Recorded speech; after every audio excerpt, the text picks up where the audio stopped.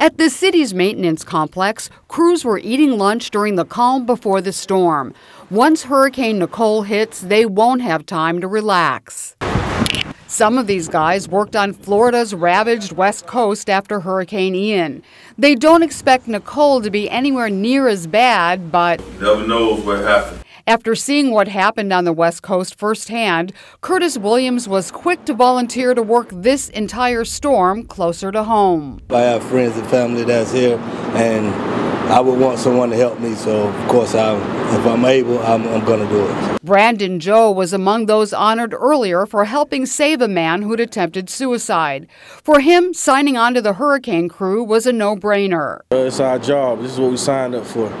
We do it every day. Pre Nicole tasks included sandbagging around their work area.